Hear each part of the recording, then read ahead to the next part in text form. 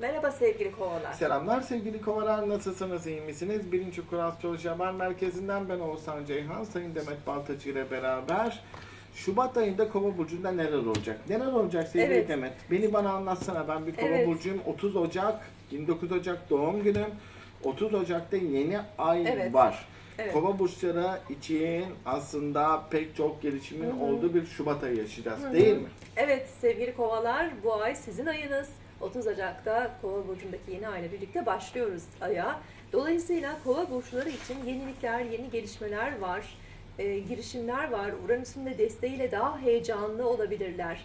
Cesaretleri artabilir, e, motivasyonları artabilir ve yeni başlangıçlar yapabilirler hayatlarında. Bu işle ilgili olabilir, özel hayatlarıyla ilgili olabilir.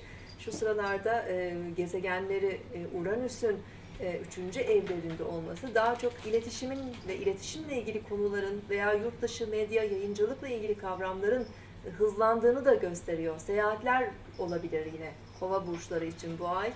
Küçük Ee, seyahatler evet. daha fazla olacak. Hı hı. Küçük seyahatler yakın bölgelere yapacakları yolculuklar olacak. 15'inden ziya sonrasında da daha yüksek seyahatler, daha büyük seyahatlere çıkabiliyor. Bazıları medya, radyo, televizyonla ilgili konular, internet, Evet, internet evet. yayıncılığıyla ilgili konularda daha fazla filada haberler alabiliyorlar. Çünkü Kova burcundaki yeni ay arkadaşlar 20 28 Ocak'ta 11 Şubat arasına Hı hı. çok etkileyecek bir yeni ay dönemi var.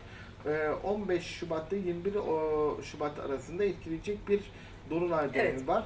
Ve bu ay itibariyle başlayacak olan döngüler bir yıl sizi etkileyecek. Evet, evet. Çünkü solar harita dediğimiz güneş dönüş haritalarında bunları bir yıl boyunca görebiliyoruz. Yani burcunuzda her yıl bir yeni ay olur. evet. Bu sizin seçkin ayınızdır. Bu ay hayata saldırırsanız, hayata yönelirseniz, hayata mücadele eder ve daha aydınlık gözlerle bakarsanız çok daha büyük bir güç ve kuvvet elde edebilirsiniz derim ben. Neler var başka? Evet sevgili kovalar sizin için başka önemli gezegen hareketleri de var bu ay. Birincisi e, Merkür'ün retro harekette e, olacak e, olması. E, 6 Şubat'ta retro hareket başlayacak Balık burcunda ama 13 Şubat'ta Merkür Kova burcuna geri dönüyor. Bu da tabii kovalar için özellikle önemli. E, bir kere e, zihinsel olarak biraz daha içe dönük olabilecekler. Tabii Uranüs, e, Uranüs'ün burcu Kova yeni icatlar, yeni buluşlar, yeni fikirler de demek. Yaratıcılığı arttıran da bir durumdur Şimdi Merkür'ün kovadaki. evet. Evet. Ee, belki Merkür'ün retrograde'inin en iyi olduğu Evet, iki yerden evet, biridir. Bir evet. kovadır, bir yaydır bu. Ee, burada icat yapabilmek, yeni buluşlar geliştirebilmek, yeni maddi ve ekonomik kaynaklar yaratmak. Çünkü balıktan başlıyor bu retro. Hı hı. Demek ki ekonomiyle ilgili bazı sıkıntılar var. Yeni gelir kaynakları Hı hı. yaratarak maddi ve ekonomik değerlerden daha fazlasıyla kazanç sağlayabilmek ve çözüm üretmekle alakalıdır. Bir de 11. ev sektörü üzerine çalışır Evet. Kova burcu. Evet. 11. ev sektörü eskideki müşteriler, eskide Hı hı. birlikte çalıştığı kişilikler, eskiden para kazandığı konular gibi yapıların Hı hı. daha fazlasıyla gündeme geleceği değerleri temsil eder. Şimdi Kova burcunda aslında gezegenler iyi pozisyonda ama Satürn'ün karesi var. Evet o 11 Şubat özellikle e, sevgili kovalar e, Güneş'in Satürn'le kare açısı biraz hayatımızdaki sorumluluklarla bizi yüzleştirebilir veya ihmal ettiğimiz konular gündeme gelebilir. Bunun yanı sıra aile büyükleriyle ilgili kavramlar veya sağlık sorunları e, kova burçlarını biraz zorlayabilir. E, iş ve kariyer Hı hı. hayatıyla ilgili sıkıntılar yaratabiliyor, otorite kavramıyla Hı hı. ilgili sorunlar yaratabiliyor, aile ve aile büyükleriyle ilgili iç dünyalarıyla ilgili Hı hı. sıkıntılar verebiliyor. Güneş kare Satürn buna benzer bir yapısal soruna sebebiyet veriyor. Satürn akrepte olduğu için aile büyüklerinde işte e, ne diyebilirim sabit nitelikli burçlarda olan Evet. işte akreptir, aslandır, boğadır, Hı bu hı. konumda olan kova burçlarında daha daha fazlasıyla sıkıntılar olabiliyor gerçeği söylemek gerekirse.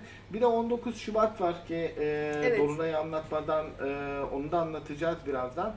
Dolunay ama 19 Şubat'ta da Yine. Merkür Satürn arasındaki Evet, kare bu 11 Şubat'taki kavramı tetikliyor ve devam Tetikliyor. ettiriyor.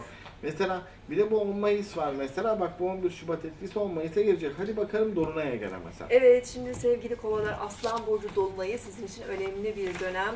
Ee, karşıt evinizde oluşacak ilişkilerle ilgili konulara dikkat çekiyor. e, bir ilişkinin e, belki e, boyutunun değişmesi gündeme gelebilir. Yani bir flörtün e, daha ciddi bir ilişki e, haline dönüşmesi, bir evlilik teklifi olabilir, evlenme olabilir. Veya sorunlu ilişkilerde de e, bitişler de gözlenebilir. Tabii ki problemli Hı hı. ilişkiler biter. Mars'tan hı.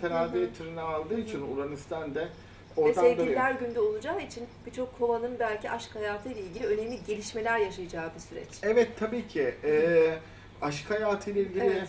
evlenme teklifi Hı hı. almak, evlenmeye karar Hı hı. vermek, yeni bir sevgilinin karşımıza çıkması ama bakın bu çok dengeli değil. Dolunay olduğu için Uranüs'ün pozisyonlarından dolayı dikkatli olun. Yani bu dönemlerde çok hızlı başlayabilen bir Hı hı. ilişki olabiliyor. Hı hı. 3 ay, 4 ay, 5 ay. Çünkü Uranüsyen ilişkiler hatırlar mısın? Yıldırım Aşklarda Evet, Uranüs parantezi diye bir yazım vardı benim. Evet. Onlarda yıllar içinde siz Hı öğrencilerime çok Uranüs'le ilgili bilgiler verdim. Uranüs'le başlayan ilişki Uranüs'le bitiyor demek. Evet. Yani 3 ay yıldırım aşk oluyor. Hayatımın aşkıyla tanıştım. Şudur budur. Dördüncü ayda yok ortada. İki kişi de yok. Yani zıpkın gibi başlıyor, zıpkın gibi bitebiliyor. Buna dikkat edin 15 Şubat Aslan Burcu Dolunay'ında. Hı hı. Yeni bir ilişkiye başlarken ama istikrarlı devam edecek ilişkide de sükunet içinde davranırım. Çünkü Kova burcundaki dolunay gerginleştirecek Kova burcunu. Tabii ki biraz huzursuzluk yapabilir, e, sinir yapabilir. Doğal olarak hassasiyet artabilir. Tepkilere biraz dikkat etmek gerekiyor. Bir de 18 Şubat'ta drakonik dönüşüm var. Kuzey düğüm terazi burcunda güney üçgen Hı hı. bir pozisyonda. Güneş üçgen kuzey düğümüne ve güney düğümüne. Bu kova burçları için olumlu. Artık Hı. kova burçları bol bol seyahat edecekler. Medyada, radyoda, televizyonda Hı yazacaklar, çizecekler.